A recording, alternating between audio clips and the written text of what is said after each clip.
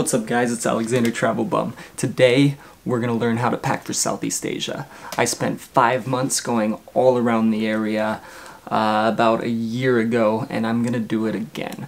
So let's go over my packing list and the essential items that I forgot last time that I know about now and you're gonna have everything you need for when you go. Alright, so you can take a backpack or you can take a suitcase. I usually travel with a backpack, but either way this video is gonna be useful for you because the backpack that I use, the Nomatic, is kind of a mix between a backpack and a suitcase. So you'll be packing the same way, the same things. And also, it doesn't matter how long you're gonna go. I would pack the same exact stuff if I was going for two weeks or two years. So since Southeast Asia is hot, it's really hot for the most part, you're not gonna need a bunch of bulky jackets and things like that. So you can get away with a 40 liter bag like this. And this one fits perfectly into carry-on spaces. And if you carry on then when you take your budget flights between countries in Southeast Asia, you're not gonna have to pay extra fees. Alright, so the way this bag works is it actually opens from the back. Extra security here. So if you can, you're gonna want a front-loading backpack, which means that it opens up like this, like a suitcase. Alright, so let's start with clothing first. So, pants. You really don't have to have pants, you can just wear shorts probably the whole time you're in Southeast Asia, but I like to at least have one or two pairs of pants with a really lightweight material. That way it's light in your bag and it's better for the hot weather. So you can just roll this up and stick this right in here, or you can use a packing cube. And then you're gonna want a pair of shorts, just an everyday pair you can wear out on the town, wear every day, wherever you are. Again, something light, a lightweight material. You have your bathing suit, which obviously you're gonna be wearing this a lot. So there's one pair of pants, one pair of shorts, and a bathing suit, which you can also wear as a pair of shorts. So you kind of have two there. So I usually grab five shirts in all and usually I'll do maybe four t-shirts because I like to wear t-shirts and again, take a look at these. They're all pretty light in color because it gets hot. So I like to wear black, but it's a little too hot for that in Southeast Asia. So you'll just be more comfortable if you pick light colored things and also lightweight again. Like see this, this is really light. It's almost see-through. I got this in Vietnam. So you can also pick up shirts while you're there. And we're gonna put this in the backpack. I take three pairs of underwear. And you're asking, how can you get by with only three pairs? Like, that's, that's gross. But actually, what I take is this travel underwear. It's called ExOfficio, and this underwear is amazing. It feels awesome, it's moisture wicking, and they say that you can wear one pair over and over and over, and it's odor resistant and cleanly, and so I only take three of these and you can wear them multiple times. So this, just three of these, it saves room and it's about a week's worth of underwear. There's girl underwear too. I actually have a pocket up here where you can put socks and underwear. So there's the underwear and then I bring, I don't know, five pairs of socks and here's a little packing hack.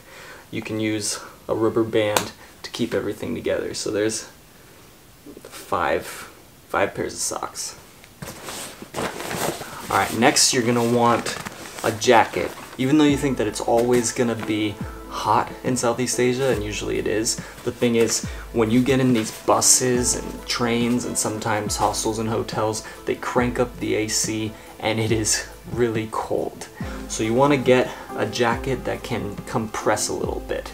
And so I put that jacket in this bag and this bag. You can just squeeze it get the air out and it compresses down a lot.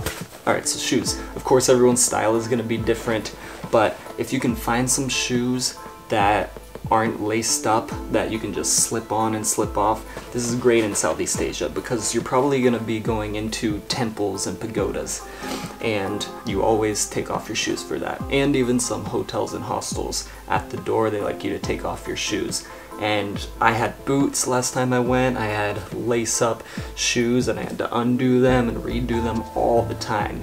And another little hack is you can use a shower cap to put your shoes in to keep everything from getting dirty. But this one I got at the dollar store and it's way too small, so. But lucky for me, I have this backpack, which at the bottom of this backpack, they have shoe compartment. So you don't get everything else dirty or smelling bad from your shoes. So put that in there. And since we're on the subject, flip-flops. You're gonna want flip-flops in Southeast Asia. Some people flip-flops is all you wear. Alright, next, this is optional, but this is a blow-up pillow. And, you know, sometimes you might be couch surfing, or you might have to, you know, sleep on the ground, or it's even good for buses and long train rides. But if you have a pillow that you can blow up, then, look, it doesn't even take any space at all, so you can just put this somewhere in your bag.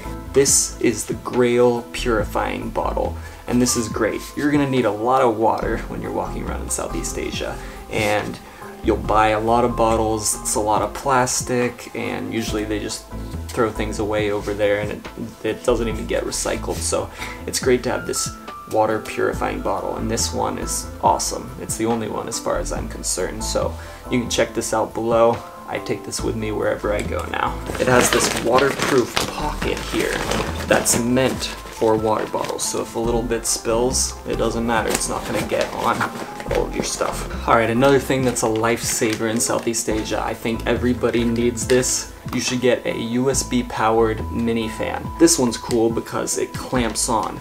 So if you're in a hostel or even a hotel that doesn't have AC, you can clamp this up on a shelf, clamp it on the bed if you're in a bunk, and it's just right there just set it up somewhere and it can get to you all night. I use one of these almost every day in Southeast Asia unless I had the AC blasting. And what you might need with this and another lifesaver in Southeast Asia is a power bank. Now you can find power banks that are like $5, $10, but you should get a good one. I've linked to a really good one below, this one. And something like this can charge your phone about 10 times. It can keep this fan going all night. Charge all your extra stuff if you're on long flights or train rides and you don't have anywhere to charge your stuff. We have MacBook, which in this backpack we can put, oh,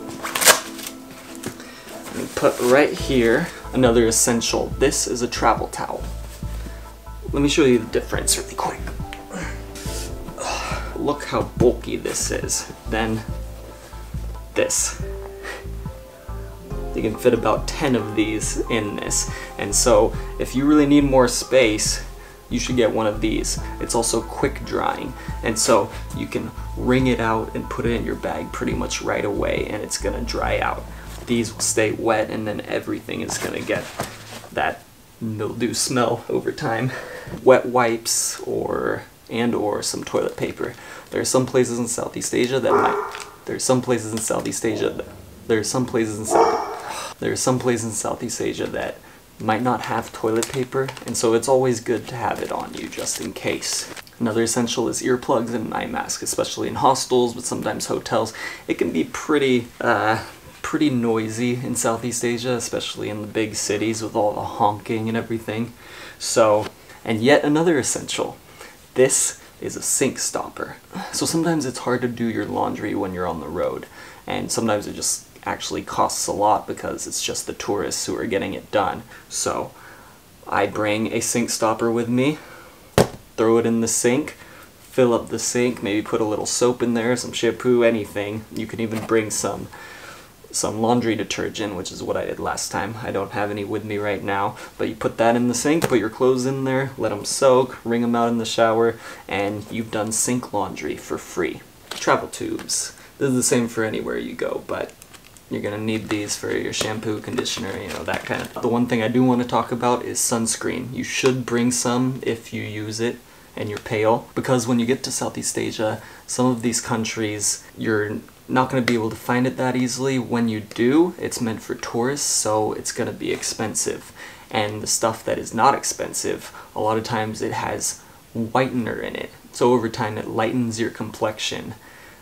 and you probably don't want that. Alright, a rain jacket, but a compressible one. See how small this gets? You're gonna want something like that. Alright, so you're gonna want a day pack, something that you can bring around when you leave your big pack at the hotel. So, you want something that doesn't have a rigid back because you're going to want to roll it up so that you can stick it in here. So see this, a lot of backpacks they have that stiff back which is comfortable but you want something really light and foldable. So when you're not using it, roll it up like this, stick it in there. I highly suggest, if you can afford it, maybe get a used one if you don't have one already, a GoPro because you're want to take it into the water, take it into the sea, you know, do some jumps off some cliffs, and just a GoPro is great to have, especially for a place like Southeast Asia. You should get this, it's a mouth mount, so you put your GoPro on there and then stick it on your mouth, so if you're snorkeling or something like that, and then an ape case. I've been using these, you can get different sizes so that it fits perfectly in your backpack. You can get a bigger one, different sizes, different colors. It's pretty much waterproof. It's a little bit padded so it keeps your gear really safe. put that in there. Then, this isn't mandatory, but you might want to have it just in case. International Driver's Permit. You can get these pretty easy, they cost about $20, and that means that you can legally drive a scooter, drive a car or something when you're there.